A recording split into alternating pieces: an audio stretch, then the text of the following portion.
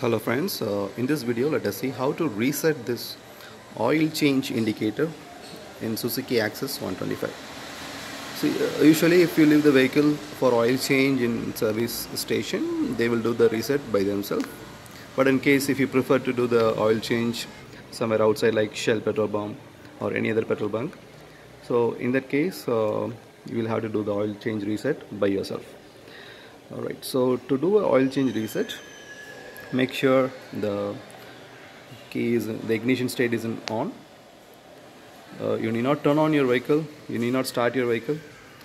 Just keep the ignition state in on and uh, press and hold the button for 10 seconds.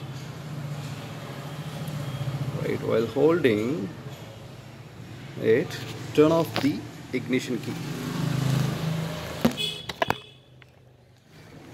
okay now the ignition key is turned off. Wait for 5 seconds. Do not release the hold. Just hold it. Okay and next. Turn on the key. And again hold it for 5 seconds. That's it. Now the oil change uh, indicator is gone. So this is how you will reset uh, your oil change indicator and Suzuki Access 125.